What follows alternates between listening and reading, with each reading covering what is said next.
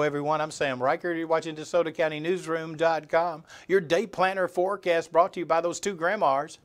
Yeah, Down Home Cooking with Sweet the Southern Charm. You can find them on Facebook and watch all of their cooking shows there.